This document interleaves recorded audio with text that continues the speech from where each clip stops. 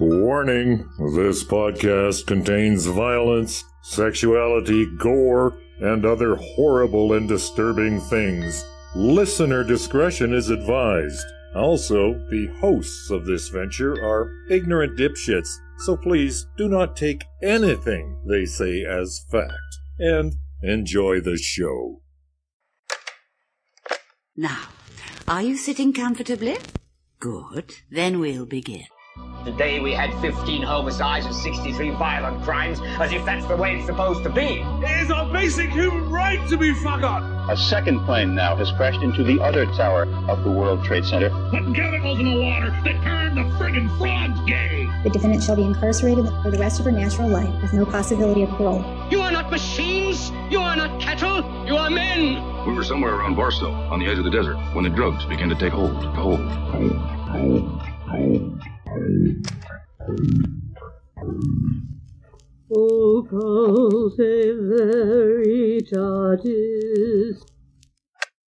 Hello, occultists, and welcome back to Occultae Veritatis podcast. My name is Leon Filger, along with Sage Murray, Richard Bigley, Ood Gallifrey, and joining us in studio, Mrs. Bigley, Geo, and Jason Mercredi, along Oh, with yeah. the soundboard demon. Uh, today's episode is on harm reduction. I've been wanting to do this episode for fucking ever, and we got Jason here, which is tight because he's the executive director of Prairie Harm Reduction, so he's the expert on harm reduction in the house right now. Uh, it's going to be a cool episode, so let's start off something cool. It's time for what's your poison. So, what's your poison?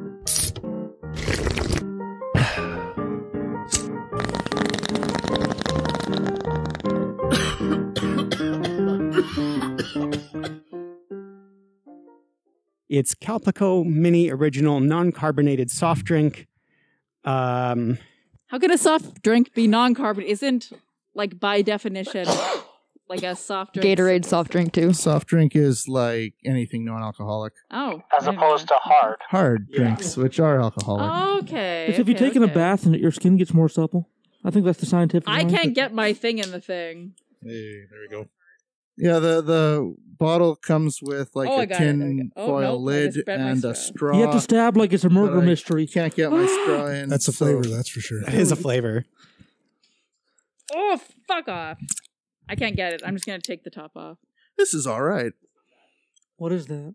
It's like lemon or something. This tastes oddly like really tasty medicine my mom gave me when I was a kid. Like it, like, uh, Like a creamsicle. It tastes like creamsicle. Yeah, it's like drinking lemon Skittles. Yeah, I, I still haven't gotten mine open this yet. tastes like a creamsicle. creamsicle. Lem- it's like lemon orange Skittles is a bit of an aggressive endorsement. So I never liked the lemon ones. It's like adjacent to lemon yeah, Skittles. yeah, yeah. Oh shit! I just spilled it everywhere. This is good. I like that. My only complaint is the bottle comes in 2.7 fluid ounces, which I think is a weird number to have. Like, why not make it an even three or like an even four or maybe like a, a 10 ounce or maybe a 12 ounce can or something? You know, that seems like 80 milliliters. Yo, I couldn't get my. Straw. That's a round number. Yo, I couldn't get my straw in, and then I couldn't open it, and then when I opened it, I spilled it all over myself. So the That's such a bisexual thing to do. If I wanted, Guilty. if I wanted to drink a, a diet lemon meringue pie, this would be it. It's like the best case scenario of mixing like Seven Up and milk. And I'm not sure the best case scenario of that thing is like something I want to be drinking on a regular basis. I don't think I'd stock my fridge with this.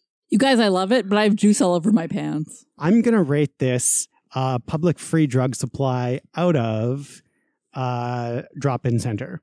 Kill, I'm boring with my ratings, so I will give it like a seven out of ten, just because it's spilled all over my pants and it looked kind of like I peed myself. I'll give it a six out of 10. I like creamsicles. Okay, I got a question for you, Sage, though. You've got two stains on your pants right now. One is from the beverage. What's that white stain? It's blue and it's from painting my basement. Or sex with a Smurf. Everybody, write in if you think it's sex with a Smurf. It was not sex with the Smurf. Okay. It was from painting my devil basement that flooded. Feedback kids at ovpod.ca if you think Sage had sex with the Smurf. Whatever, just let me know. Do kids know what Smurfs are? I don't. I my kid doesn't. My kid's six and he's he doesn't. I don't. That's gonna be the first thing I'm gonna teach him when I take him out to the woods to hunt. Well, really. You can take Mini Sage out to the woods anytime you like. I'm Take gonna him give away. poor education on many things. I'm excited for that. Yeah. Ood, have you rated it yet? I don't know. This is like a three. I don't know. Why is it in such a small bottle? It's very small. Is this for children? Yes, Probably. Okay. What is this? A soft drink for ants? I was wondering. It's like I was wondering if like if I drink more than eighty milligrams, am I gonna be like shitting all night? Like, but I guess it's for children. That makes sense. Yeah, three out of ten. I don't. I'm gonna. I'm gonna finish it. Yeah. Jason, what are your thoughts? Yeah, I give this like a three out of ten. I think that's a good score. It's uh, palpable, you know, but it's probably you'll go through seven beverages before you reach for this one. Right. Yeah. Yeah. That's fair. Geo? Um, I'm gonna go with seven point six because I'm a huge weeb, so I, I love all this stuff. All for diet lemon meringue uh, beverage. Yep. Mrs. Bigley? Uh, maybe a five out of ten. I wouldn't probably seek it out. That's fair. Okay, so let's jump into the episode now. We're sitting in uh, Saskatchewan's first safe consumption site. What a safe consumption site is is it's basically a facility where people who use drugs can use drugs safely and under the under the observations of a medical professional. More and more, we're seeing drug supply becoming more and more toxic. It's being laced with things like fentanyl, and as a result, people are are dying, and we're starting to see you know record numbers of overdoses in the community.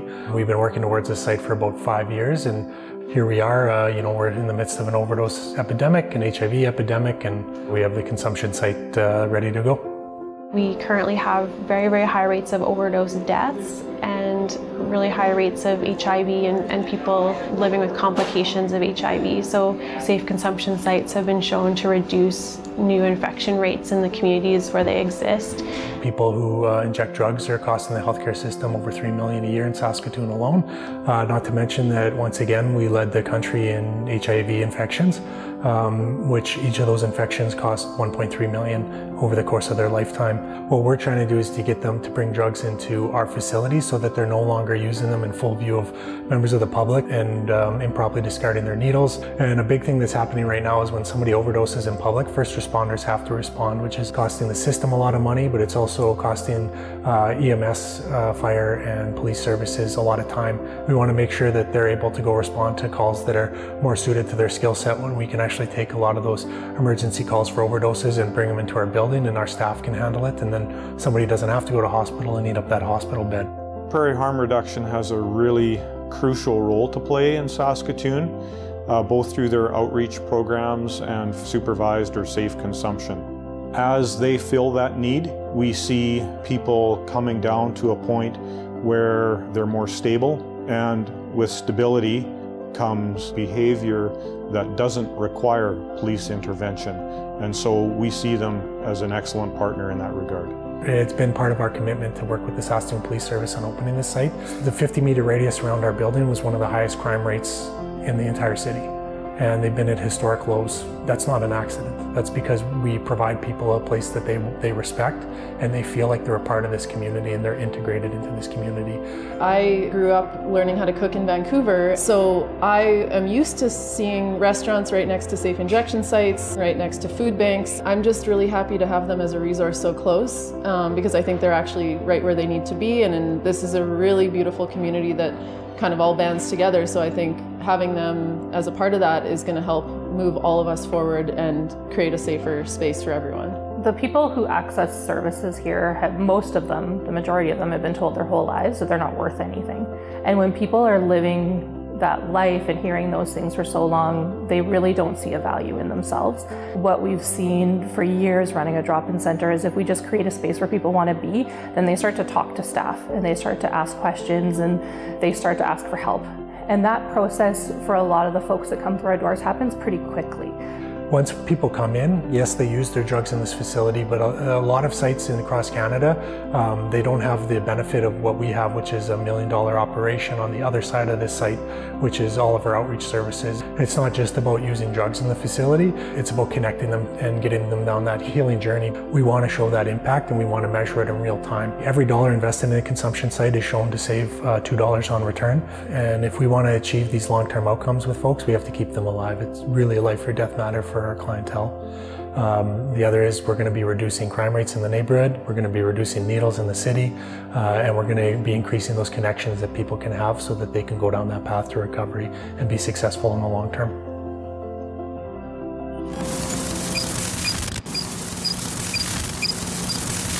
Harm reduction is a set of practical strategies and ideas aimed at reducing negative consequences associated with drug use. Harm reduction is also a movement for social justice built on a belief in and respect for the rights of people who use drugs. Are we on the right track so far, Jason? Yeah, pretty close. Okay. Um, jump in at any time with anything I've got here. Yeah. These are notes that I took uh, from the National Harm Reduction Coalition in the United States, which seem to be the most thorough source of information on harm reduction. Yeah, I would say the the states is kind of dog shit on harm reduction for the most part. Tell them to fuck off whenever you want. Yeah, tell me to fuck off whenever you want. Um, so I'm going to start off there. The uh, the coalition lists uh, eight principles of harm reduction. I'm going to go through them, and then we're just going to have like an open roundtable style chat about Prairie harm reduction and why you exist and the exciting news you've had lately, and then uh, we'll finish it off from there. Okay, so the the first principle of harm reduction uh, accepts for better or worse that illicit and illicit drug use is part of our world and chooses to work to minimize its harmful effects rather than simply ignore or condemn them. Uh, number two, it understands that drug use is a complex, multifaceted phenomenon uh, that encompasses a continuum of behaviors from severe use to total abstinence and acknowledges that some ways of using drugs are clearly safer than others. And I guess in the context of Saskatoon, um, we now have a place that's safer than the street safer than using alone in in your apartment especially in pandemic times uh, i know we've had uh, a hell of a lot of overdose deaths since the pandemic like started a shit A shit- fucking a ton. shitload. like how are we doing in saskatoon right now as far as people dying from drug overdoses We're fucking terrible Mhm. at uh, what's happening right now, and um, you know we've had uh, you know ambulances were responding to upwards of hundred overdoses a week.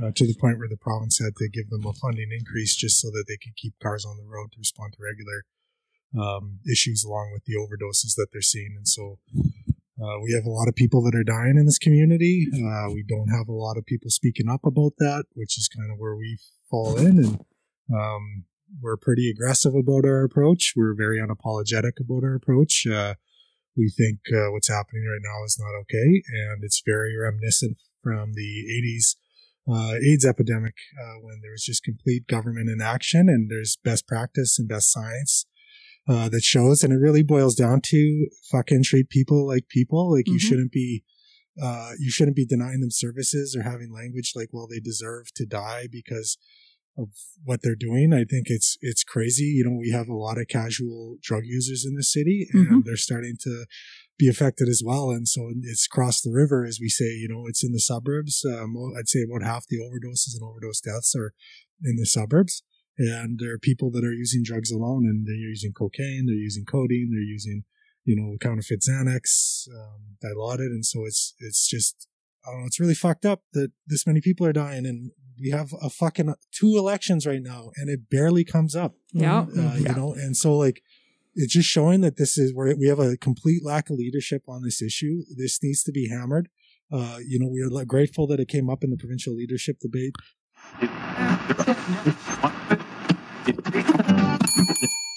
Perfect time, gentlemen. Let's go back to our last question of the night. Allison Bamford standing by.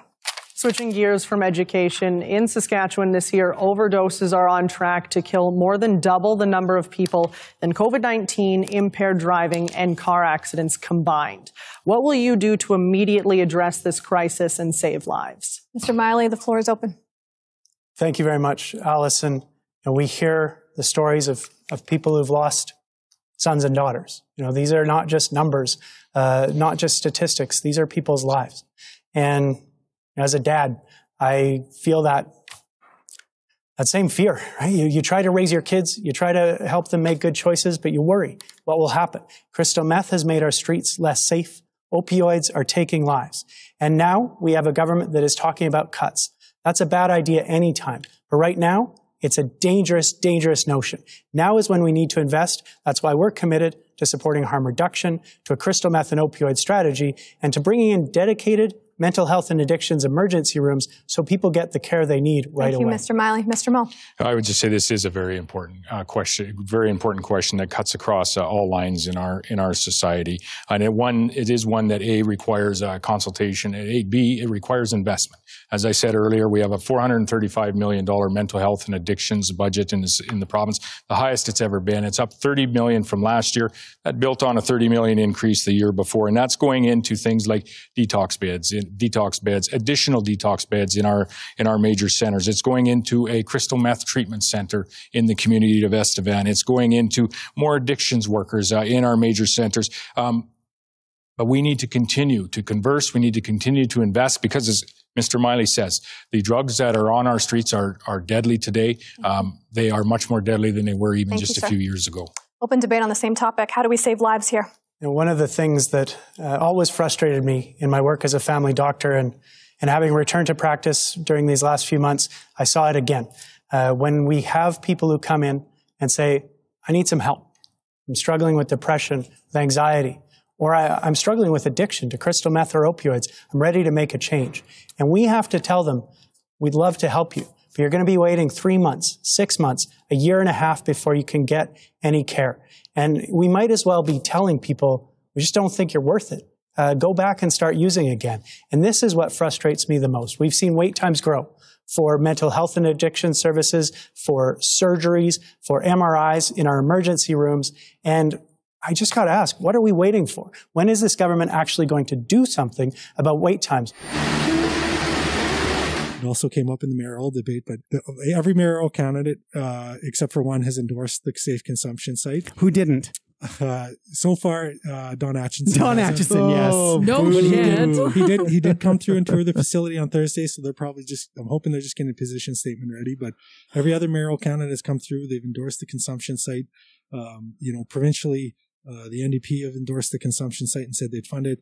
The Sask party are saying they consider it. You know, and and uh, And yet they had the opportunity to fund it when you asked Mhm. for the money and they said, fuck you. What? Well, I don't know if they said fuck you, but they said they're we're not funding it right now. And so uh, for us, like, I get it because I don't like.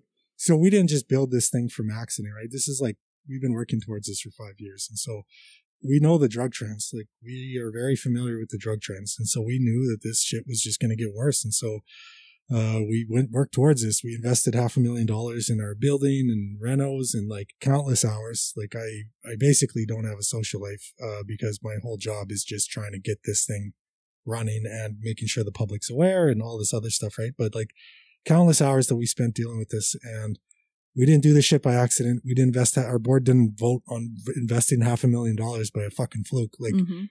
We know what the fuck we're doing. And, um, we think we got the best consumption site in Canada and we're not funded, you know, and that's a fucking piss off because, um, when the pandemic hit, they're saying, oh, these overdoses are related to the pandemic. Yet I could show you even Saskatoon based research that said it's coming, it's coming, it's coming. So the pandemic definitely exacerbated things, but this shit ain't going away when COVID goes away. This is here to stay. And we need to start acting in a way that's really aggressive with policy, with really, that's really aggressive with our approaches, Mhm. really proactive, using best science. We're not like, we're not fucking just random hippies that are like, Hey man, this is a good idea. Like, although we have a lot of hippies on staff, but it's like, it's, it's very much like we, we do our homework, you know? Yeah, you're being proactive rather than reactive. A hundred percent. Yeah. And and people can say, well, uh, well, they're still getting this tainted drug supply, and then fucking great. Then let's legalize drugs. Yes. But don't fucking go these half-ass measures or what the hell's happening right now, which is fuck all. Pro, like naloxone expansion got announced in this summer, like it was a big fucking thing. That's the least we can do right now is naloxone expansion, which by the way wouldn't have fucking happened if our organization hadn't advocated for it 2 Mhm. years ago. The squeaky wheel, right? Totally. And Mhm. and there's a lot of there's a lot of people that are afraid to speak out. Uh, there's a lot of shame and stigma based around drug use. So maybe I have somebody in my family that overdosed and died. I might be grieving for a long time, but even after that, I might not feel comfortable speaking it out. And we got we got a boss ass uh, organization called Moms Stop the Harm that are these moms who have lost their kids to overdoses, and they don't they don't put up with shit. No, They call no fucking around, Yeah, they do not fuck around. They they call call it like it is. They advocate aggressively. There's a playbook to deal with this situation, and it comes right out of the AIDS movement in the '80s. It's called "Don't fucking take shit and talk a lot of shit." Like you, you we need to get back into the mix of being aggressive advocates. Mhm. There is too much complicity, especially within the nonprofit sector. There's a lot of there's a lot of fear, uh, you know, and we have had we've been told by the provincial government we're not cutting back your funding.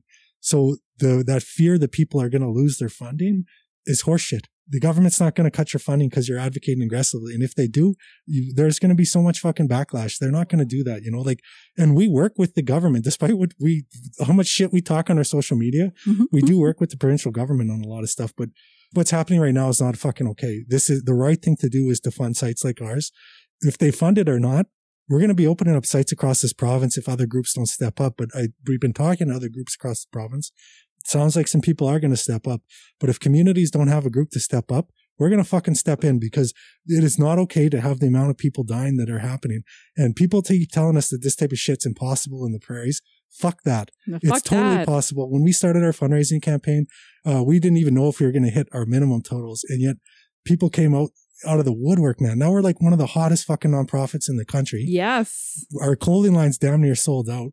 We make a ton of money off our fundraisers. Like businesses are popping up uh, around the entire province that are just raising money for us because they know that we need it. Yeah. We're looking at expanding hours at this point rather than just trying to maintain. Mhm. And so That's like, fucking cool, though. it's totally great. That's and great, it- yeah. This community, that's the part that people don't fucking realize in Saskatchewan. Drug use is fucking everywhere, man. yes. Tell me one fucking high school that doesn't have Coke in their football locker room or fucking Xanax at their parties. It's- Definitely not my high school in 2005. See, and it's fucking impossible, man. There's drugs are everywhere in this community, and people don't want to fucking talk about that. Fuck that. We need to talk about drug use and destigmatize drug use. Like when you're talking about the principles of harm reduction, really the principles around like no coercion and no judgment, and it's treat people how you want to be treated, you know. And it's it's it's not that hard. You think of you think of uh, how who this populate what this overdose which populations are affecting uh, are being affected most by the overdose crisis right now uh, the, most people would say oh it's you know poor poor people or indigenous people yeah they make up a large chunk but fucking so are uh, so are caucasians right now Well, I was gonna say, like, I, I would guess like middle class, like white people. 100% the the fucking cocaine fuels the restaurant industry here. Shit, yes. it fuels the legal industry here mm-hmm. people don't fucking talk about that shit As But it- somebody who work in bars and restaurants, yeah, yeah, all over the bathrooms. all over. All And, over. But people don't want to talk about that shit. But it's fucking everywhere. And before it'd be like, oh, they're at risk of overdosing. Fentanyl's in fucking everything nowadays. isn't everything. That's why I haven't done drugs in forever. Yeah, yeah. We have naloxone kits, by the way. So like, Yeah. and like, and naloxone kits access has been like a huge thing in this province where people just don't fucking have naloxone kits available. Naloxone reverses the effect that opioids have in the body. It only lasts about 30 to 90 minutes for each dose.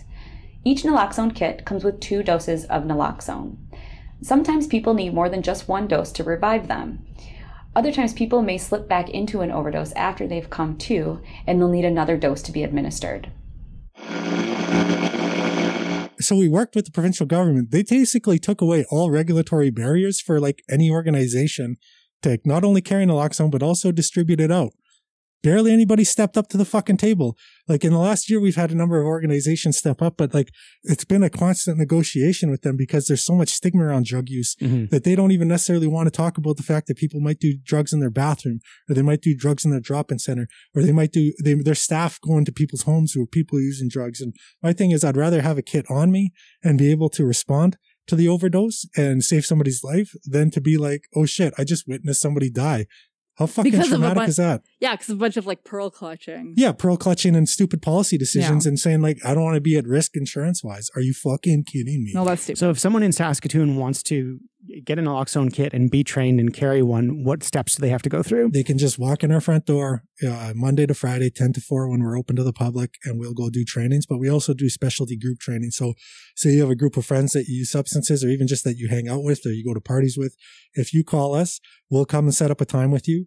Uh, we'll send out an naloxone trainer. We'll train you up and we give out kits for free. It doesn't matter. We're the only place in the province that it doesn't matter if you identify as a substance user or not. That kit should be free. That's basically the way it is in the rest of Canada.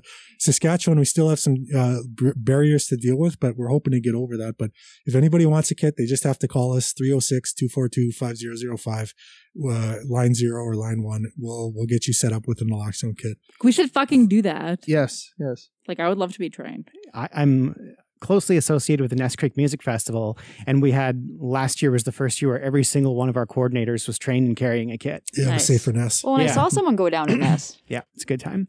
Um, so, uh, third principle of harm reduction uh, establishes quality of individual and community life and well being, not necessarily cessation of all drug use, as a criteria for successful interventions and policies. Yeah, like most. How many of you drink alcohol? You know. Yeah. How many of you smoke weed?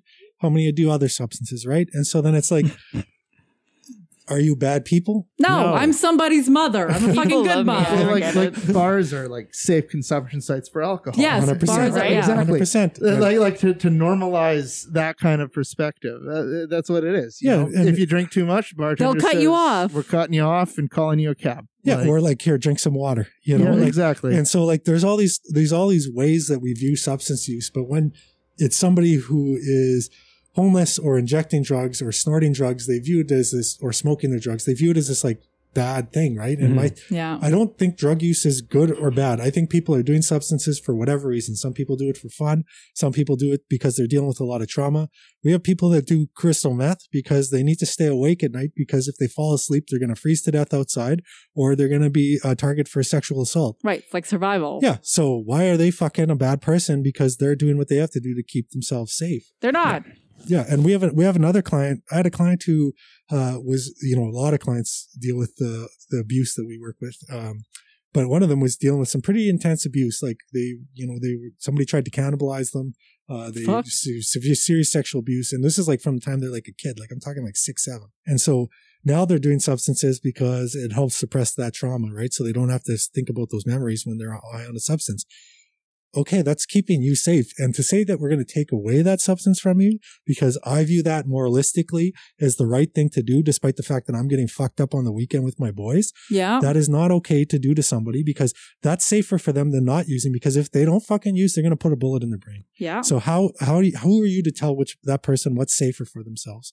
You're, fu- you're fucking nobody. And like, the, that's what sometimes people have a hard time doing, especially when you're in a power position. So like a support worker, a doctor, a nurse, outreach worker, pharmacist, you're in a power position, but, and so they view themselves, although they might not, uh, like think about through it this way, it, that's the end result is they view it that they know what's right for this person.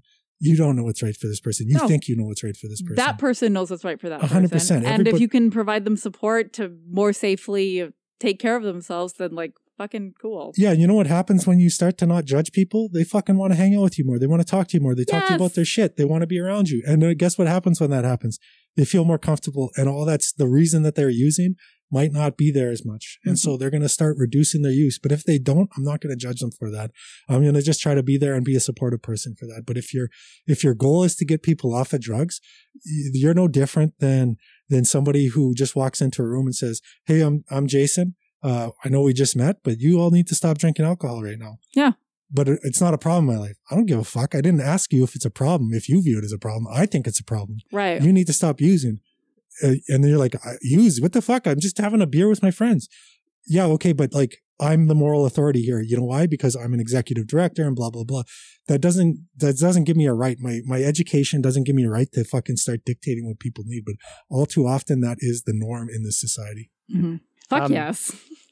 which leads into uh, principle number four, um, calls for the non judgmental, non coercive provision of services and resources to people who use drugs and the communities in which they live in order to assist them in reducing attendant harm. So that's what you just yeah, said. that's literally what. Yeah. yeah like, the, the the best way i can explain it is uh it's like the colonial mentality of we're coming in from a different way of being and then i come in and start saying the way all the, the ways you're doing are wrong Mhm. so i'm going to fix this you know how i'm going to fix this i'm going to send you to a school and at that school we're going to teach you the ways that you need to be yeah. You Gonna know? erase all of what. yeah, what erase have, everything yeah. that you know, erase all the coping mechanisms that you know, dismiss that because those aren't real anymore. I decided that they're not real. You're going to this school. How is that fucking any different than walking into somebody's life, sending them to treatment without against their will and saying, we know everything that you need to do. You need to, you're forced now treatment to go to treatment. That does not work. That? It just does not work. There's all sorts of trauma that happens when you fucking do that to somebody, uh, including telling them like everything that they know and value is wrong. That does a lot of fucking damage to people versus talking to them about why they do certain things. There's always reasons why people do certain things certain ways. They have to exist in a world that I don't have to exist in. So while they're in your clinic or while they're in your consumption site or your drop-in center or fucking wherever you are, they're going to behave a certain way. And so you might not pick up on their behaviors as being the correct way to behave, but there's a reason they have to do that because they have to fucking exist outside of that little box that you're in right now. Yeah. And so you can't expect them to flip the switch every time they're in a different environment. No. That's completely unrealistic. Yeah. And it's not right. Like, Yeah, one thing So- I've always hated is um clean, getting clean. Yeah, Because then fuck. clean implies that dirty. You were before, dirty. right? I hate that. Hate that. Yeah, it's stupid.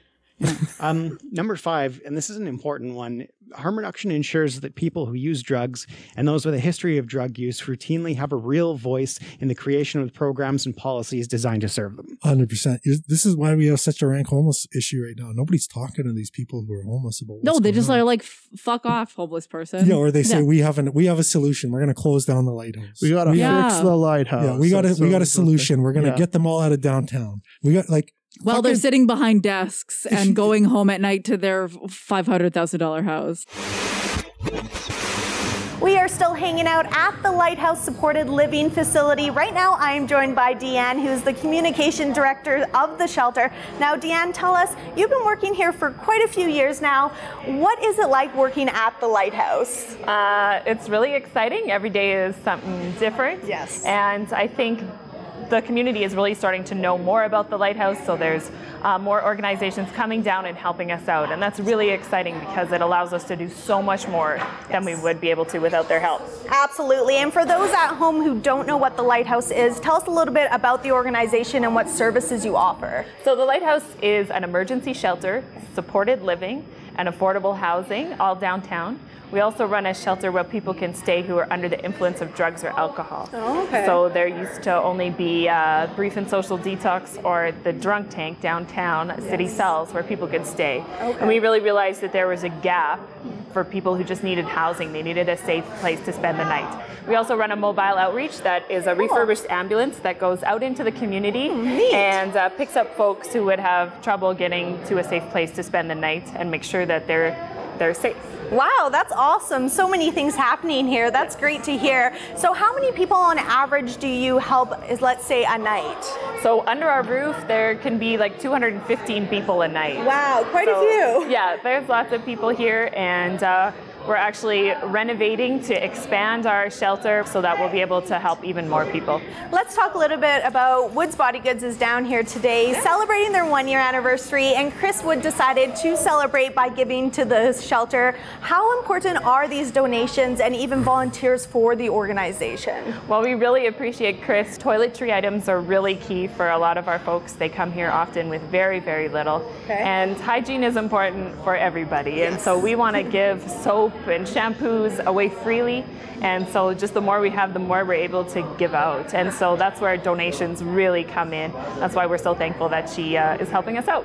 Excellent. All right. So, if people want to find out more information about the nonprofit organization, or even if they want to give back themselves, where can they go to find that information? They can go to www.lighthousesaskatoon.org or they can call me uh, 306 653 0538.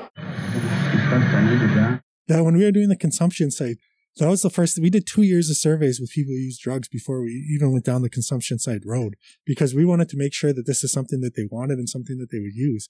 And when we were designing it, we constantly were consulting people who use drugs. We have a lot of staff that use drugs or formerly use drugs. Like we, we, we don't view uh, lived experience or uh, academic experience in any different light. They're the same for us. And so, uh, you know, and I, uh, we have a large staff. We have about 40 staff members. I could tell you the staff, the HR, the human resources issues that I deal with with somebody that uses substances versus somebody with a fucking master's are the exact same. Like they're the exact same shit.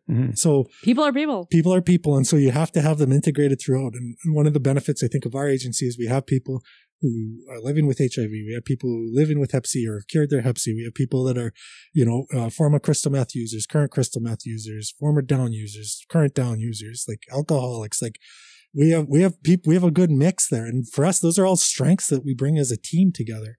I, I also like see like when I read about policy decisions and the moralistic issues that get in front of them, like I, I see so much of that. Like getting homeless people places to live, like four walls and a bed to get them into a stable environment. That's a solution that's been proven to work in multiple places around the world. But Medicine people don't want to do it because I worked for what I have. So why do they get a free house and all that? Like, do you want to solve? Do you want to help or not? Do you want to improve these people's lives or not? Yeah, no, like the homelessness thing is a fucking piss off, man. Because there's a lot of empty uh, social housing available. So this, much, so much They- housing empty. They just won't Wild. pay for support workers to go in there because some people need to learn uh, skills to live on their own, and so they need support to go do that. And but the government won't pay for fucking support workers to go do that. We got a lot of empty places we could fill up like that, and we could keep them filled, and we could get these people off the streets, keep them warm in winter, keep them safe, and they could have some fucking space of their own. But nobody's wanting to pony up for fucking support workers for these folks. It's nuts.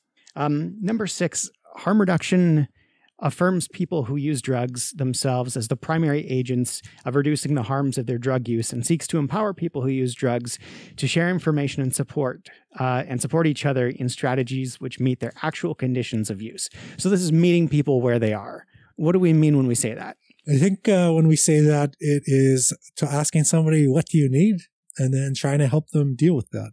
Uh, whatever the boundary, you need to have some form of boundaries. So like, it's not like, hey, well, what do you need? Hey, I need 20 bucks and then shell out 20 bucks. Cause dude, I'd be fucking broke if I did right? that. We deal with over, well over 100 people a day. So it's like, we'd be flat broke within by the end of the day. So, um, so, but when you were talking about meeting people where at, what do you need help with? Do you need help with housing? Do you need help with employment? Do you need help with uh, finding a place to sleep tonight? Do you need help with food in your stomach? Do you need just a couch to crash on? Whatever you whatever you need, I'm gonna try to help you meet that need because guess what help guess what happens? So like the, everybody knows the Maslow's hierarchy needs, right? Yeah. And so uh, what I find a lot of times when you're dealing with people with substance use, everybody's yelling at them. Why aren't you at the self actualization stage where you've you know dealt with everything? I'm And fucking not at the self actualization stage. instead instead of saying what do you need and they're saying i need some fucking food man Yeah. and so you're like all right but you need to get a job pull up yourself by your bootstraps all that bullshit right and so instead of instead of yelling at them for where you think they should be ask them what they need for the next step in their journey that's going to help them a lot more than me giving myself a pat on the back because i thought i told them what they should be doing and then they didn't listen to me but maybe they nodded and i felt good about myself or maybe i just needed to be told that i was right you know but that's not doing anything for that person Yeah.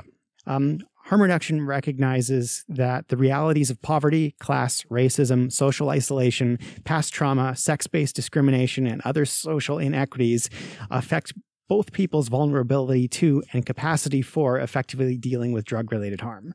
So I think what what goes along with harm reduction, and this is true in Saskatoon, is identifying and working through the social determinants of health. Yeah. Yeah.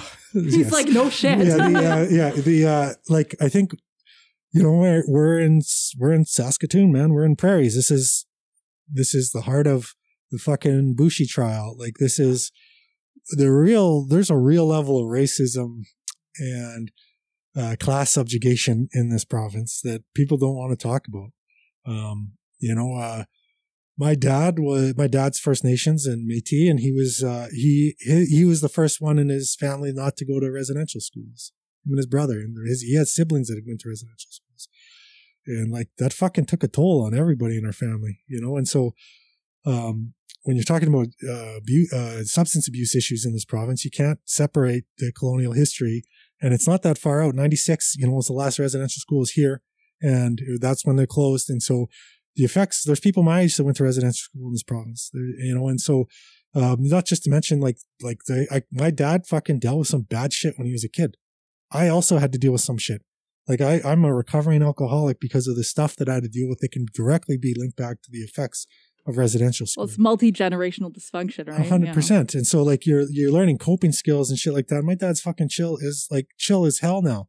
And I'm like, who the who the fuck is this guy? Like when he when I see him interact with my nephew, he's like like patient Jedi master. And then I was like, you are not that fucking way with me, you know? It's a but like it's all this trauma that's healing, and my nephew doesn't have to deal with half the shit we had to deal with, and it's going to be that way going forward. And so, but when you're looking at substance use in this province, uh, like who are predominantly affected by trauma?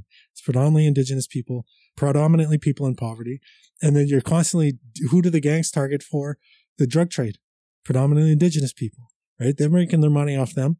And so when you're when you're looking at the drug trade in this province and how it affects the uh, indigenous folks, you can't separate that stuff. And so when you're looking at when you're looking at trauma, when you're looking at uh, the history of substance abuse in Canada, colonial ways are definitely impacted by that. Even when you look at what happens when an affluent white male gets a DUI, they get off.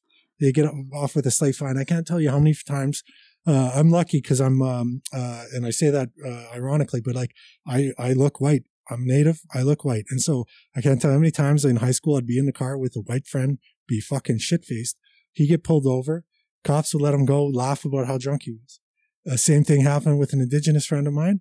Fuck, dude, cuffs. You're in the you're in the tank. You're getting arrested. Your car's getting impounded. We're fucking sending you to jail. Like the whole nine, right? Book throwing them. You see that shit all the time. And so that stuff still happens, but at a lighter level, you know. Um, but it still it still happens in this province. Or like with Boushie, like uh, Colten Boushie gets fucking murdered, point blank range, gun to the back of the head. Uh, The wrong hand yeah, the the the, wrong RCM side. the RCMP fucking released a statement that uh, before anything happened, within like an hour or two, they released a statement saying that these kids were robbing the farm and that uh, and that um, uh, there was an incident with a shooting where somebody was robbing a farm. They didn't do any investigation. They left the fucking they left the um, scene of the crime uh, ex- to completely exposed to the elements. Yeah, and they- they fucked that up it- so no, bad. fuck, that was intentional. I don't give a shit Mhm. what anybody says. No, That was I- intentional. They left that shit exposed to the um they left that shit exposed to the elements so that it washed away the evidence and then and then uh fucking Gerald Stanley gets off and doesn't even get a mishandled firearm charge. Not you even a slap. Yeah, and so like that that's the type of shit that happens in Saskatchewan all the fucking time. And that's the type of stuff that, that type of injustice is what deal we have to deal with all the time. And so when we're talking about substance use, uh, that type of shit always plays out with people who use drugs. That's actually one of probably our, our agency's proudest achievements is the work we do with Saskatoon police to work with them in a way to deal with substance abuse differently. You know, they, they are really actively trying. This is not, you know, I, I think they, they, st- they clearly still have some issues and there needs to be, you know, body Yeah. cams and those types of things and civilian oversight. Like I can't stress that enough, but like the way that they're dealing with substance use is very different than the way a lot of police services in Windsor, for instance, they won't even carry naloxone kits when they respond to overdoses, which means they watch people die. And in Oh, Sask- Saskatoon, our first line of defense against overdoses right now is the Saskatoon Police Service. That's they wild. they carry naloxone kits. There, we have a new unit that came up in our neighborhood as part of us opening the consumption site. There was one day where they stopped three people from fucking dying within an hour because they had naloxone kits because they were there and they were reaching out to that crowd. And so it can't, we, although we always hear these horror stories of what happened in the prairies, we also are starting to see some glimmers of hope in that we can do things differently, but you can't ignore racism and classism when it comes to substance abuse issues. Coke is just as prominent as crystal meth in the city. If you're a Coke user, because Coke is a super white drug. yeah, if you can afford Fuck, Coke, if you can afford Coke, you're an upstanding citizen. You're at the bar at night. Yeah. You're fucking having a good time. You're you're you're uh, you're a fucking like I can't stress enough the amount of lawyers or nurses, nurses and doctors that do Coke. But like you, So you're- many. You're a good person. You're doing great. But if you that's a stimulant. Mhm. If you're doing crystal meth, you're a fucking dirty drug user. Yeah, you piece scumbag, of shit, fucking- scumbag. You're a fucking blight in society. Dudes at fucking Long Branch are getting fucked up on coke and starting fights just like at the hose or whatever. But Mhm. if they're on crystal meth and they fucking start a fight, then they're a piece of shit loser. Yeah. But if they fucking do it and they can afford cocaine, they're just the boys on the weekend. Well, and, and hear me out too. I was trying to get a basically a prescription for meth um, in the province here, but Canada does not prescribe desoxyn. Desoxyn is pharmaceutical grade meth. You can get it in the states. Like so, one like if I get it from the doctor, it's okay, but if I have to go out to the street to get it, it's not. Like Yeah, so you're talking about prescription replacement therapy. So uh that is the shit. And that stuff should be going ahead. They have it in in uh they have it in BC where they have and they just started two programs up in Ontario where they have prescription replacement programs where they if you're a substance user, you go to a doctor, they prescribe you your substance. Part of that is you got to meet with the addictions counselor, mental health counselor, you know, once a week or every two weeks. But I haven't met a single person that uses substances that said they're not willing to meet with the fucking addictions worker or mental health worker. The problem No. is, can they fucking get into an addictions worker or Yep. mental health worker? Yeah. And so that that prescription based program is where we think this province needs to go. I think the College of, of Medicine has a different idea, um, but like we think prescription based programs are the way that we should be going forward. It eliminates the criminal. I think. Well, first of all, I think all drugs should be legal, but Yes. uh, Yes. like, Decriminalized. Like, Yeah. uh, but like in terms of in terms of um, in terms of uh, prescription based programs or legalization, you're talking about eliminating the criminal element, which is really the root cause for a lot of issues in That's why everyone goes all like underground and sketchy Well, and, and, gets like, their Portugal. fentanyl shit. And we heard we heard the fucking the end times are coming when they legalize weed. What the fuck happened? It's an essential service that actually fuels government services now because they know it's a reliable tax Yeah. base, even though the prices are fucked. But well, and they, they shut down the medical dispensaries. Like Dana Larsen lost a bunch of different dispensaries, and that's the thing is everyone who needed the cannabis medicinally had to go get it from the shops, and the shops weren't even offering CBD stuff at the time. Yeah, yeah, and like they they should just be legalizing that shit. Mm-hmm. You regulate it, you monitor it, you make it in a fucking lab. You know the quality. It's going to eliminate a lot of the deaths that are happening right now. And top of that, it's going to be taking the cri- the money out of the criminal element, which is really what the end goal should be with legalization. Like if you ever watch like Narcos Mexico and you Mhm. watch them doing all this shit over weed, you're just like, what the fuck? Yeah. you know that's over weed. That was fucking like 30 years ago. Holy shit! Yeah. like none of that shit makes sense anymore. And that's the way we're going to be looking at this shit in 30, 40 years. Is what we're doing right now with the war on drugs makes absolutely fucking zero sense. no, it causes more harm than good. Hundred percent, and, like what what what's fucked up is when you have people saying like they endorse carding policies or they endorse going after when they endorse uh, busting like street level people. Those people have fuck all to do. They're literally just trying to feed themselves. The but they don't go after the financial crime. There's fucking money laundering that happens. There's there's there's big enterprises that are built around this shit. But they don't ever want to go after those because that's fucking hard work and you actually have to do some real hard ass policing. Mhm. You talk to cops, they'd fucking love to go after those people, but they don't have the money to do it because they're being told to fucking harass so and so. Yeah. And so, like, they should be investing. If they're going to invest in policing, they need to be investing so they can uh, target high level crime on the highest level. But they won't go after those people because they aren't fucking brown. You know, they're they're white business owners a lot of the time that are fucking infiltrated into the pol- uh, political world. Well, and even for minorities, like I worked in uh, Vancouver at a halfway house for f- federally convicted men, and I had like one Vietnamese guy that got 10 years for having like a grow up. And then I had like a white guy who literally raped kids. And he had like four years. And he was like at a very high risk to reoffend. And this other like Vietnamese guy was like, That happens all the time, man. it's it's fucking insane. It's really crazy. It's, it's insane. Yep. Finally, point eight harm reduction does not attempt to minimize or ignore the real and tragic harm and danger that can be associated with illicit drug use. So it's not sweeping it under the counter and it's not saying that that drug use isn't problematic or isn't isn't dangerous, but again, it's like seeking to meet people where they are and recognizing that people who use drugs are people. Yeah, and you like like yeah, drugs have a harmful fu- fucking effect. So let's talk about that. But then you're gonna actually have to talk about that and get to root cause shit, Mhm. right? And so like our thing is like we're known as the agency that shoots our mouth off all the time, and like Yes, you it. are. yeah. And so like, but like it's be- the reason we do that is once the light gets shown shown on something, and once people hear truth, they can't fucking unhear it. Right. And once you shine a light on something, people actually have to fucking deal with it. And but what we keep hearing are these half-hearted solutions, this reinvention of the wheel. They don't want to go after fucking policies, you know. And so it's it's it's really tr- it's really problematic the way we approach these issues because it's blame it's victim blaming a lot of the time uh you know and it's doing stuff that makes me feel better and it, but it doesn't actually deal with anything because i get to say that i was responsible for x amount of arrests great Right. you know but how, this is our second police chief our chief of police that has said they are not going to arrest this way out of a problem you talk to chief cooper he is the first to admit police is not the issue. Like policing is not the answer. Sorry, policing is not the answer here.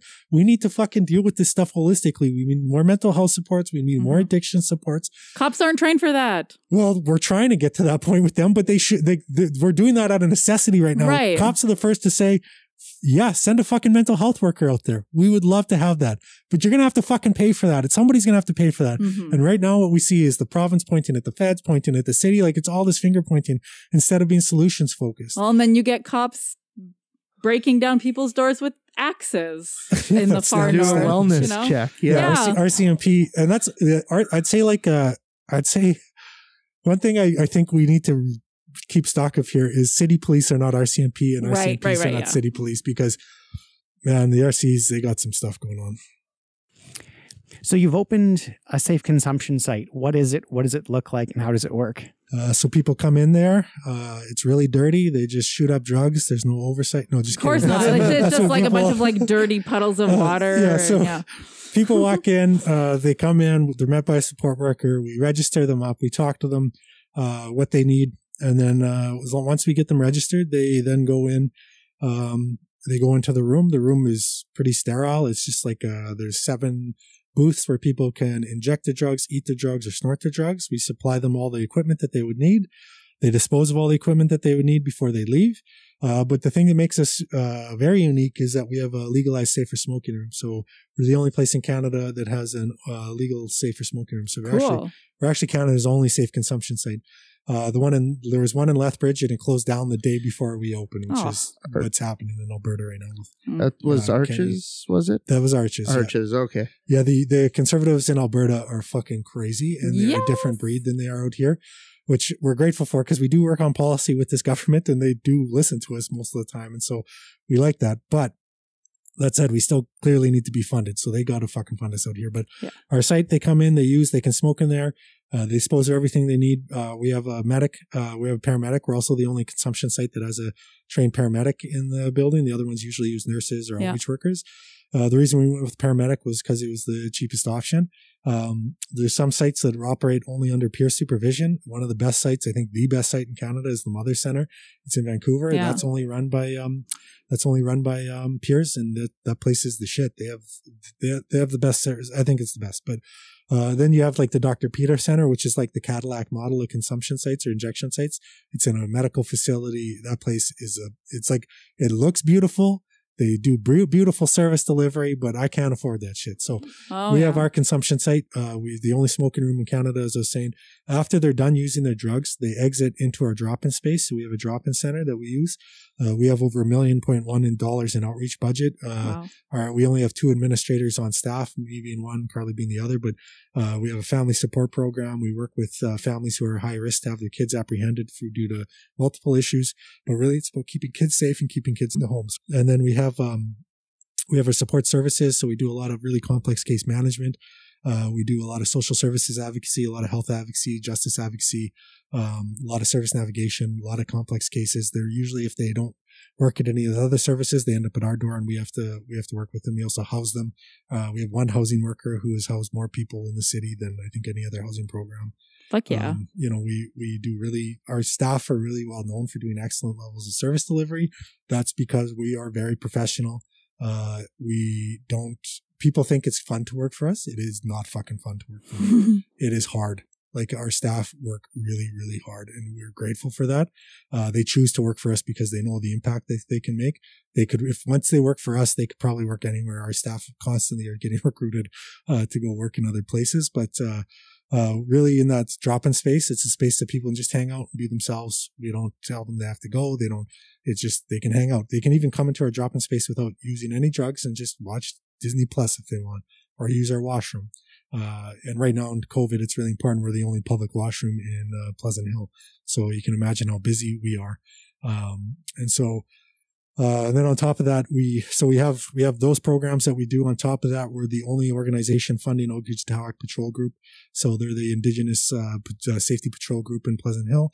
They do outreach and services like that. They also do cultural programming Wednesday nights.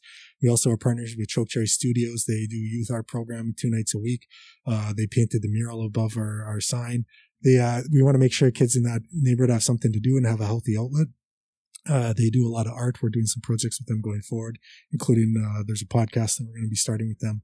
Awesome. Um, yeah, Let us know when it's out. And yeah, we have like no logistics on it. We just got the money, so we're just like, okay, we're doing this. Okay, cool, cool, cool. Uh, but um, uh, we also do a lot of education. We do a lot of training with other service providers, um, and then we also do a lot of policy writing. So uh, drug pipes, crack meth pipes are now available in Saskatchewan needle exchanges. That's solely because of us. Uh, we did a lot of research. Uh, we presented it to the province. We worked directly with Minister Reiter's office to get it in place. Um, we got we got it now. Any needle exchange in Saskatchewan has drug pipes in it, which is really important because we're the only province that has HIV. Is um, we lead the country in HIV infection rates, and we're the only place in the country that the reason for our main reason for our infections is due to shared drug equipment. So the if you're sharing a drug pipe versus a needle, the chance for uh, HIV or Hep C infection is significantly reduced uh, using a pipe. Uh, the other thing is the chance for abscesses or misses. What happens if you miss? A lot of bad things happen. You need to go to the hospital for those types of things. We take away all that. So we also did a naloxone program, which I which I mentioned. Um, we do a lot of naloxone kits where the we distribute more naloxone kits than anywhere else in the province. Last month, I think we did 360. Um, uh, we uh, what else? Um we do we uh, we led the coroner's inquest. We had a youth die uh, from an overdose in Kilburn Hall, and I think it was 2015 or 16, uh, due to a crystal meth overdose. Um, uh, Julia uh, led the coroner's inquest, and like uh, because of that, they they made they made a bunch of recommendations. We haven't had any youth overdose and dying in uh, um, Kilburn Hall uh, since then. Um, uh, we've done stuff like uh, we are co-founders for National HIV Testing Day, uh, which is now like every government endorses it. And at the start, it was basically us just holding hands with a couple other CPOs in the city Mhm. saying we could do this. and uh, really quickly, it, ex- it blew up, and now it's uh, we're in our third year for National HIV Testing Day. And so it's kind of crazy when people always think of this butt fuck province, you know, and Mhm. then when I think when you, you can get stuck in that mentality a lot, but you talk to there's a lot of good ideas in this province. It's just a matter of are we going to execute them right, and and are you going to listen to the majority of voices, which actually turns out I think are the minority of voices. When I go Yeah. out to business community, when I go out to leaders in the community and talk to them about these issues, you talk to them in a real way. You don't pull punches. People say that totally makes sense. We're one of the few consumption sites been, that's been endorsed by a majority of businesses. Like people like us, and and we've made the community safer. Mhm. And it's all because guess what? People fucking need a place to be. Yeah. Uh, you provide people a sense of community. It does a, a bunch of shit.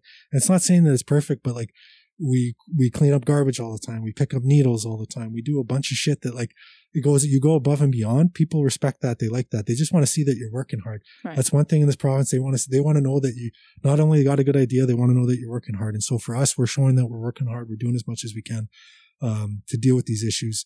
Uh, but at the same time, we're not going to suffer fucking bullshit opinions, and we're not gonna we're not gonna let the we're not gonna let uh, bad ideas rule the day because they're fucking got more power or they got a voice or we're not getting funded. You know, we're fucking gonna do what's right at the end of the day. Uh, we're not gonna let uh, the money dictate what we should be doing. Yeah, you're not gonna. Yes, sir. Thank you, sir. Yeah, And then- totally. Yeah. So what's next for your organization? Safe supply all the way, baby. Nice. So we're going, uh, we're going, uh, big a safe supply. Um, uh, whatever that means, legal, illegal. I don't give a shit at this point. We need to, we need to start moving the needle. Mhm. Um, but that said, we got some pretty good health leaders. And so we'll see where we go with that, but it'll take us a couple of years to get there, but we're going to safe supply is the big one. Uh, and then, um, uh, uh, consumption site expansion. So it doesn't matter where you live in this province, you should have the same access to health services. And so, um, we're helping a couple organizations get their feet underneath them. We're expecting them to start soon. Um, and once those ones do, we're moving on to the next municipalities. And, uh, you know, and we don't, we don't really want to expand provincially. Like we'd be happy to support organizations. I'm more than happy to give them all the documentation, all the guidance. Um, but it, like I said, if, if local orgs aren't willing to step up, which I think they will, uh, I think right now is a scary time to step up when you're the first at something. And, you know, like we came up in the provincial debate, leadership debate, like that's not a place most nonprofits like to be. For me, that's fucking steak on the table. Like as long as we're being talked about, that's, we're in the mix. And so, um, you know, when we, so when we're looking at what needs to happen next to this province, we need to stop being the fucking laughing stock of healthcare and the laughing stock of harm reduction. Yeah. And we need to be harm reduction leaders. You know, we, we, we've had a couple major wins in this province in the last couple of years that they're little ones, but they don't get talked about, but they've had a big impact. And, you know, like the drug pipes is one, the naloxone expansion is the other. The other is, um, there's a students group that advocated for um, universal HIV and Hep C coverage. We were only the third province to get that. Third province is not that far off to be the first province, and so you know right now we're we're we're the second province to ever have a safe consumption site. Now we're the only one in Canada. So I want to be the first province with multiple safe consumption sites. I want. I think we should be the best at whatever the fuck we do. Mm-hmm. And people always say you can't do that out there. That's that's not kosher. That's not whatever. Man, there's a lot of fucking support for what we do. There's a lot of fucking support, and so uh, we need to take advantage of that movement, uh, momentum, and we need to move it forward in a safe, responsible way for sure. But at the same time, fucking the enemy of progress is perfection. We absolutely need to have forward momentum. If you try to get everything right, you will fuck it up no matter what. So I may as well fuck it up and get a step further down the line than what's currently happening, which is How many people are fucking dying out here? Yeah. How many people are fucking dying from an overdose? How many people are getting HIV infections, Hep C infections? Like, Because is people aren't are afraid to take the steps that you've taken. I think I don't know if they're afraid, but they're just not. And so whatever Yeah. the fucking reason is, we need to stop. We need to stop and just sorry, we don't need to stop. What we need to do is move forward. But like we need to stop being afraid. Like and we need to stop being we need to stop being kowtowed and we need to stop doing it because we think that there's money in it. There is no money in the safe consumption side. No. Like that's a money pit. If I mm-hmm. calculated how much my time was worth, I'd be worth like 30 cents on the dollar. Like for how much I get paid there. Like you you shouldn't be going into these things trying to make a buck. But a lot of times there's been major corruption in the nonprofit world in terms of the purpose of nonprofits. Nonprofits existed because to meet a societal need that government wasn't meeting. That's why nonprofits originally started in the 70s and 80s. But now we have the system set up where nonprofits think it's their job to score a government service at a cheaper cost for government so that government can offload, uh, like it's that neocon mentality where like government's trying to offload services. Nonprofits are more than happy to just pick up the pace. And a lot of times they're doing it just because it's the right thing to do. And it's fucking, you got to keep the lights on at the end of the day as a nonprofit. But why the fuck did we get here in the first place? Why do nonprofits exist? We existed to disrupt the system, to fucking come in and make sure shit was happening in society that, and people were getting served that they weren't getting served by government. And right now, people who use drugs are fucking, are, are super high risk to die. They're like, the, the debate it got mentioned that we, uh, people who overdose, uh, people who die of an overdose are going to be more than double COVID deaths, drunk driving, and fucking car accidents in this province. It's Yet wild. it fucking had to get drug out in a debate on the very last question to get addressed. hmm Where the fuck? Where the fuck is the action? And if, if government's not going to meet it, community has to. And if, if gov- community doesn't like fucking places like ours that are like a very nice looking sterile medical environment, fucking wait till the tents start popping up in the, in the fucking parks. Yeah. Because They'll really people- hate that. Because people don't want fucking their friend to die. And you can't fucking tell them they got to take down the tent and their friend's going to die. Fuck you. Like we need to have that mentality and that fucking type of swagger back in the community where we are telling government what the fuck is actually happening. Because weird things happen when you start telling truth government. They usually start listening. And if they don't, then you fucking still got to do it anyway. And my thing is, we got to start speaking truth to power because one of the problems in this province is people are just kind of quiet about these social issues that we're dealing with. Homelessness. Like we got very into homelessness this summer. We were fucking screaming in the media, felt like every week about the fucking home homelessness situation with the COVID. We're winter's coming. We're fucking right around the corner and this shit's about to get a lot worse, a lot fucking worse. So if freezing death starts to pile up, where's the fucking action there? Like we need to start being vocal about the shit. We can't just think that people are expendable in society. Uh, you were talking about safe supply. I'm not quite familiar with the the idea. So, like right now, I guess your your clientele would be bringing their own uh, stuff, and then safe supply would basically be you supply it to them. Is that Yeah, so safe proposal, safe or- supply right now they're going out and getting scoring it from a street level dealer. Safe supplies they'd come into our building, they'd be prescribed whatever medication that they were on or substance they were on, and then they admit it, they would take it right in our facility, and then that's it. But they're not going to overdose because it's it's pharmaceutical grade, and they're connected to the healthcare system. A lot of the costs associated with people who inject drugs or use street level drugs is because they're not connected to the system. So they don't have social workers, they don't have addiction workers, they don't have a pharmacist. We talk about introducing in, into that system, bringing them into the system so that they can actually get the support that they need. Right. Well, and they'll like be like right there. They won't need to share needles or use dirty puddle water. Yeah, or spend spend their limited income on street level drugs, which is Exactly. then funneling a fucking whole enterprise in the city. They can they can eliminate all that shit out. They get it from a physician. They're overseen by a physician or a nurse, better yet, a nurse, uh, and then they f- go on their day. They can probably hold down a job, volunteer opportunities, because they're on a controlled dosage rather than the fucking spikes and lows. Yeah, like happen. whatever the fuck is in Um, this the well, street because yeah. most of it's tainted with fentanyl. Like when I was in Vancouver, everyone that's what everyone was dying of. Yep. and they're starting to mix fentanyl and benzos, and so when you Oh, do that, fuck. naloxone doesn't work. And so Shit. So there's big fucking issues right now, and there's even some derivatives of fentanyl. I can't remember the uh, um, the name for it. I probably pulled it up on my Carfentanil or no? No, there's carfentanil, but there's another one that you actually have to do special drug testing to have it come up, so it doesn't show up in the normal form of drug testing. So you have to go through an additional level, and so we've had deaths in the province with that as well. And so, um, you know, but that's stuff again that doesn't get talked about.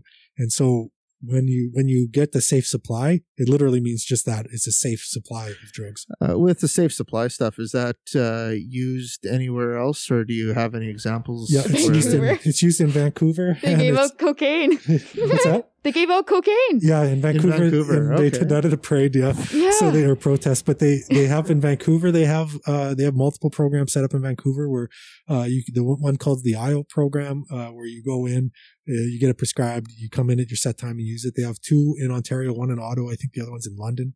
Um, and where you go in and you get prescribed.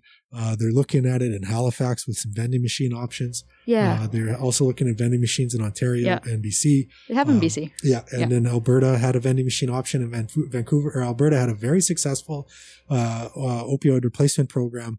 And sorry, Calgary had a very successful opioid replacement program. Uh, that you know, what's what is the common uh, pushback you hear against uh, anything harm reduction or anything with people who use drugs? They cause these issues in society. They can't hold down a job. So they had this program in Calgary, super successful. They had people that were quote unquote problematic substance users who were on the program. They were successfully stabilized on their on their uh, prescription program. The fucking conservatives cut it program. Of course they did. And so these people are now potentially going to die because the government isn't willing to provide this health service that they were already providing. that was successful. Why they- Wild.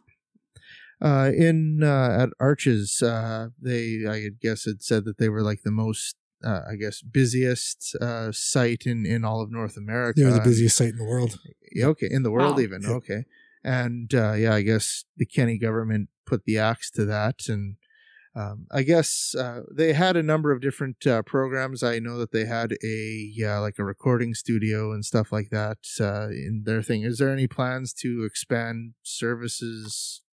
Uh, like maybe more creative outlets or, or a way for people to like tell their stories and stuff like that. Yeah, so or- one well, like so that's we're doing that in a couple ways right now. One's going to be the podcast that we're doing with Choke Cherry Studios. That one's going to be all youth led. So I think people are sick of hearing me talk for the most part in this province, and so we're trying to make it be Indigenous youth led. So it's they're speaking on behalf of themselves, and they're the knowledge keepers rather than power brokers.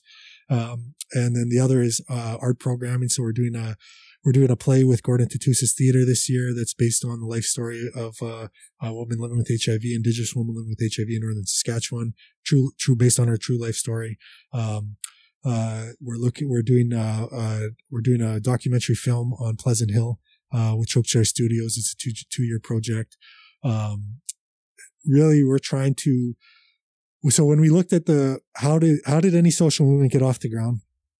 Uh, whether it was you know uh, civil rights movement in America or apartheid uh, in South Africa, it was the arts community backing Mhm. it. And same thing with the AIDS movement. Uh, you know, when places people like Elton John and stuff stepped up, that's really when you started to see major progress socially. And so that's one of our biggest investments actually is is the arts. We are investing heavily in the arts because we think that this is going to be more galvanizing to get people uh, and the society um, moving forward. And so we released a clothing line that was we didn't think was we had no idea how it was going to sell. To be honest, we had a really good designer in Stephanie Moss. She's a tattoo artist.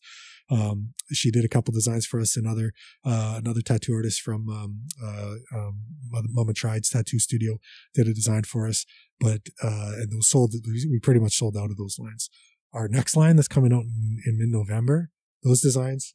Yeah. So They're those. I'm and I'm wearing the the, the Norse um, the Norse rune, the naloxone rune of protection. but the um their next line of clothing is so fucking good. Like I wish I had more money to buy so that we could sell more because we're going to sell out so goddamn much. But it's all around safe. It's all around um, harm reduction. It's all all around political policies. Like, uh, but it's done through the arts. I think that's probably the biggest way that we're able to mobilize. One of the biggest things that we see that helps people, though, the folks that we serve, aside from trying to reduce stigma around all these things, which is really what the arts is about, normalize the conversation, is employment opportunities. Our folks want to work. They just often don't have work experience. And so we actually employ a lot of people that access services with us uh, because that gives them the opportunity to work in the wider community, but also contribute to society and do things like get off of income assistance, uh, you know, take care of their family, take care of their kids. And so, um, for us, like those are the bigger initiatives. Those are the two initiatives that I think we'll be spearheading. We could, like, I could talk for days about harm reduction, whatever policy, but safe supply is the next North, North Star that we're going after. But the bigger stuff that we're looking at is all arts based or employment based. That's very cool.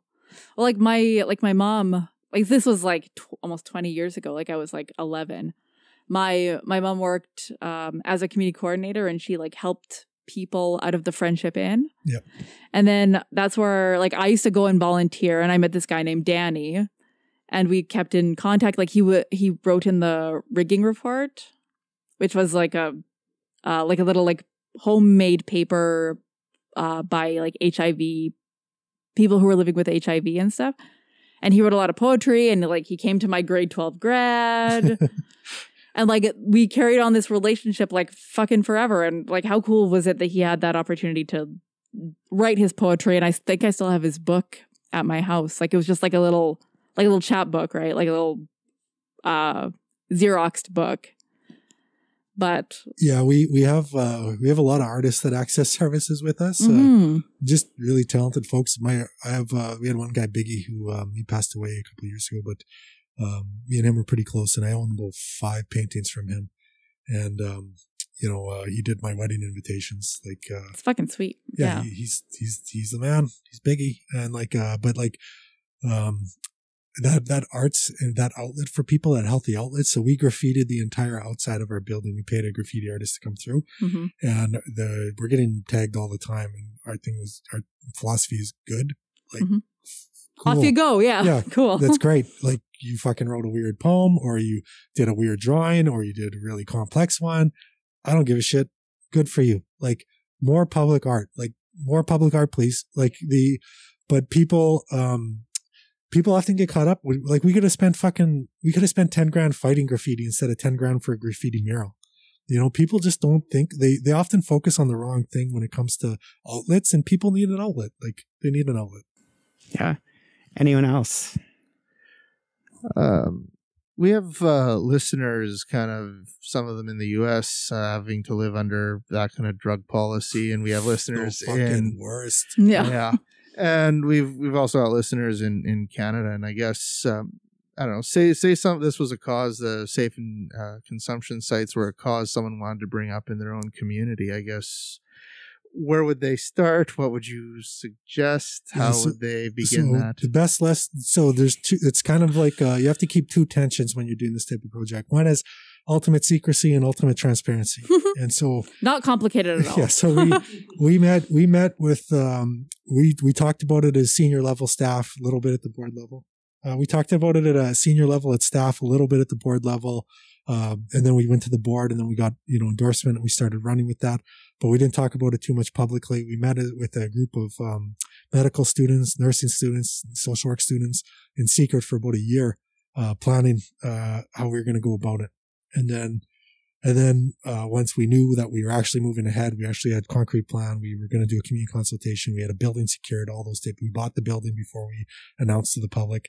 Uh, then we went full, once we knew we were doing what we were doing, then we went fully transparent. And I think you can argue we're probably the most transparent consumption site. As I was saying earlier, people are sick of hearing my voice. Like we're very transparent about what we do. We're, we're in the media constantly. We're constantly on social. We're updating constantly. And so, thank you.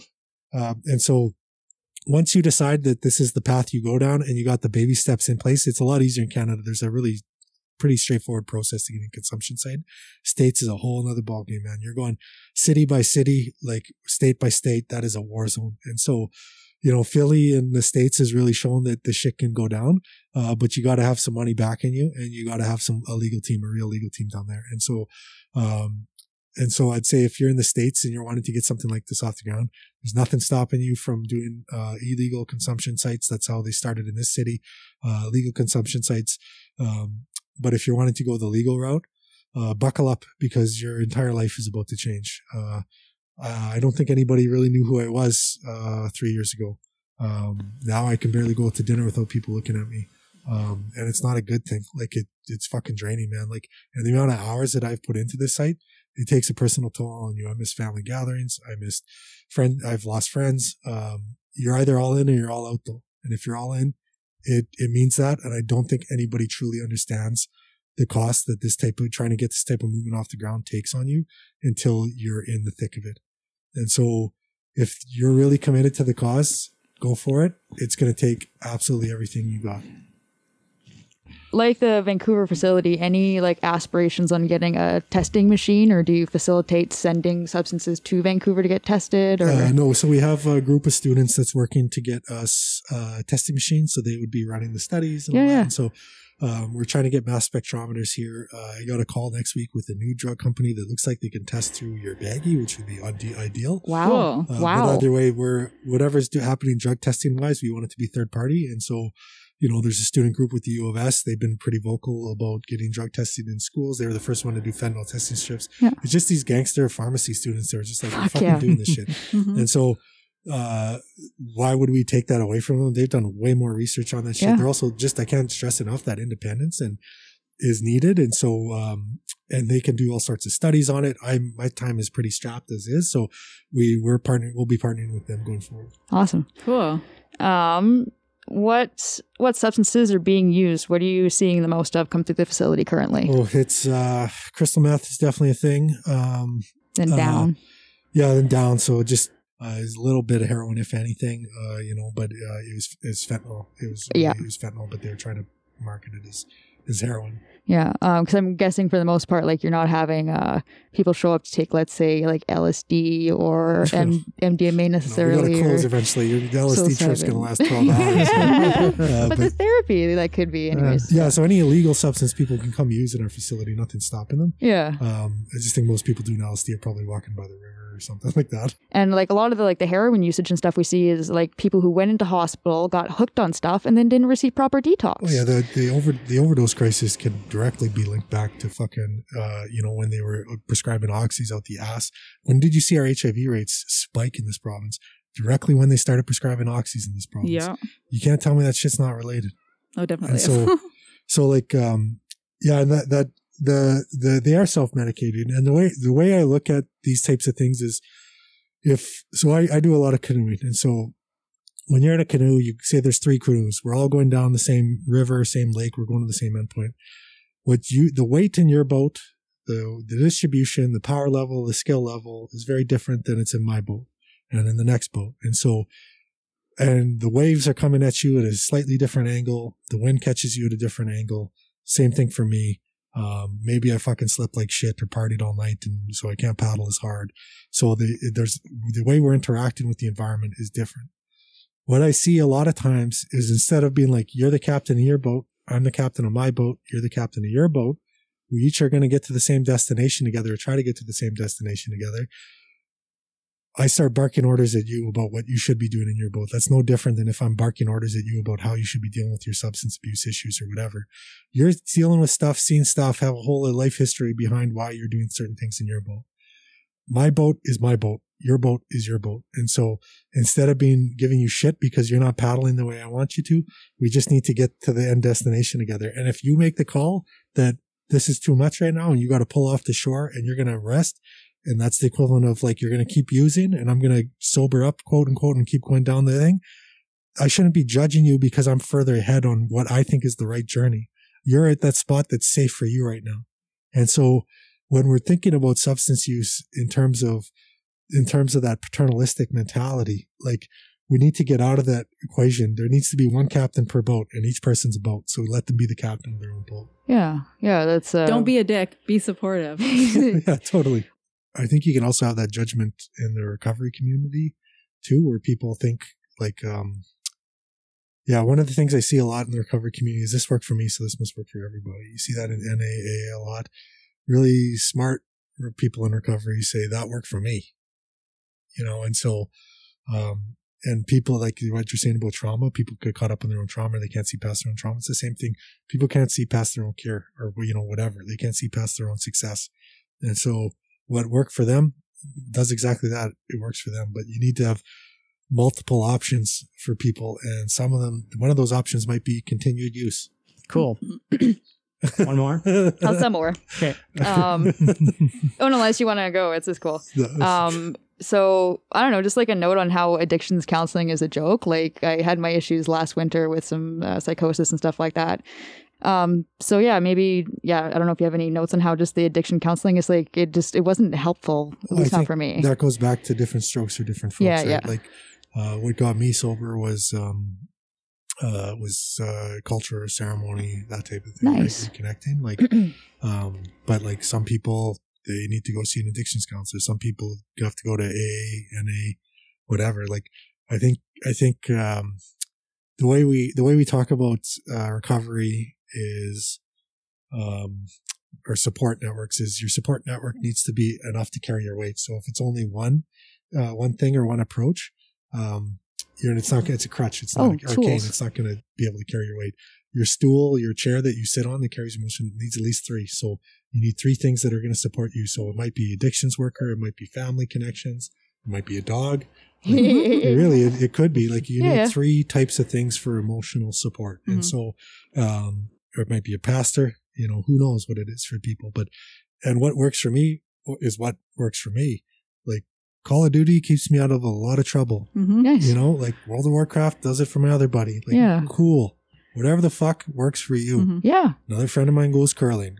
I could give a shit, you know, but it works for them. And so when you're t- thinking of addictions recovery, instead of being like, oh, that doesn't work, uh, the way I look at it is that didn't work for me. Yeah. And so this is, I'm going to try X, Y, or Z now. Yeah. like anecdotally, like I went to um like I have my whatever in addictions counseling and I got it in Vancouver and they taught us all this stuff like what may work for you might not work for you and you might need like this tiny chunk of that and then some chunk of some other thing to make it work and the other two chunks may not work for you like it's all just super individualistic and just Yeah. keep going and don't judge Yeah, as it should be, I think. mm-hmm. I think there's a certain part of time in that too, right? Like it might not work for you this time, but Right. next time it might. And, Oh, you know, denying someone a service just because they tried that before is not fair. Oh, no. And, um, just our healthcare system, like my personal experience with it is, you know, it, it takes time to get referred to a specialist or time to be referred to maybe the therapist that you need. And a person that's in that crisis moment, that moment where maybe they're ready to make a change or they're ready to try to make a change, might not get that immediate service. And so I think that's a big part of this. And I'm really happy to hear about all the work that you're doing. Mm-hmm. Yeah. So- Yeah. In terms of that, though, we also don't like one of the things our agency does that or doesn't do, I guess, is we don't ban people. And so your bad day shouldn't determine the rest of your life. Um, that's fucking cool Yeah, so we might ask people to leave for an hour or the afternoon and the day, but they're always welcome back the next day Mhm. or whenever the you know. We usually we say you need to go for today, but you're welcome back tomorrow. They a lot of times they they'll sit down and talk to you and fucking ball their eyes out because they were dealing with some crazy shit that you had no fucking clue over. Mhm. They didn't know how to deal with, and they took it out because it was a safe space. You know, but guess what? I've had I've had no staff get assaulted since we've been I've been ED, Mhm. and it's because our staff are really well trained at talking to people. This has been one heck of a good episode as far as episodes go. Thanks so much for coming. Um, Thanks. have you got anything you want to end with? Yeah. prairiehr.ca. Uh, we got all our merch. Pay attention for mid November. Uh, we're gonna have a new line drop, and as I said, it's gonna be fucking good. And then, i'm uh, excited oh, it's so good. And then uh, uh, the other would be follow us on social media. Instagram is our main one. Um, uh, Prairie Harm Reduction. We're also on Twitter, PH, uh, Prairie HR, and Facebook. You just search Prairie Harm Reduction. But our Instagram is by far our best channel. We fucking have really good memes. Uh, we Yeah. have really good videos. Uh, yeah, follow us. Uh, we're good for at least a chuckle. Good stuff. For Occultae Veritatis podcast, I'm Leon Filger, along with Sage Murray. Reminding you that the only alternative to a safe consumption site is an unsafe consumption site. I'm Richard Bigley. Fuck yes. Ood Gallifrey. And joining us in studio, Mrs. Bigley. Geo. and Jason. along with. The soundboard demon. Thank you very much, and have a good night. love you bye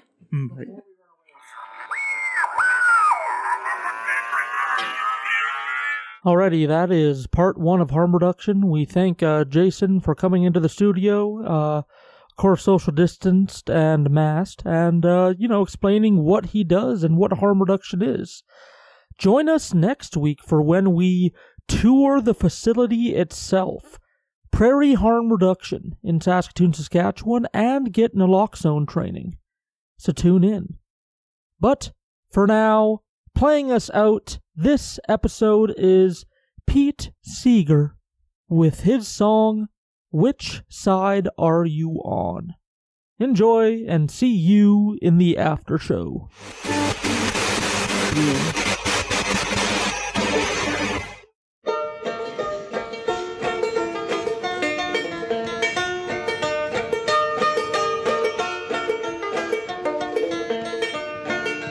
Which side are you on, boys? Which side are you on? Which side are you on? Which side are you on?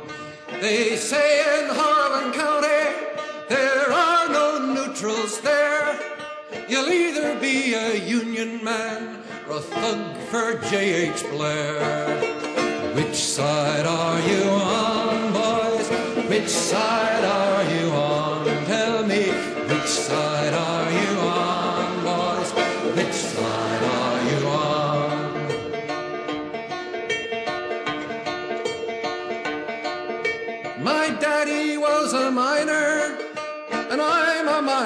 Son.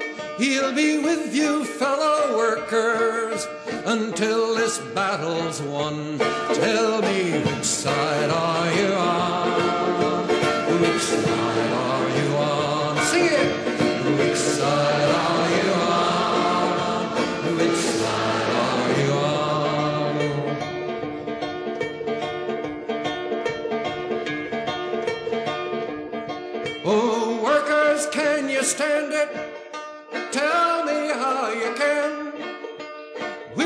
be a lousy scab or will you be a man? Which side are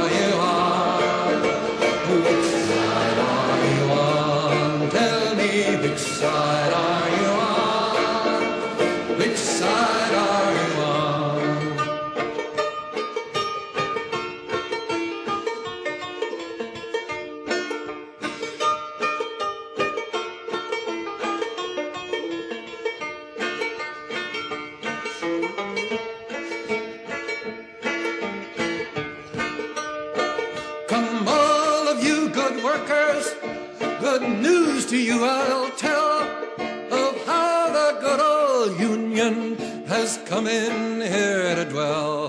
Tell me which side are you on,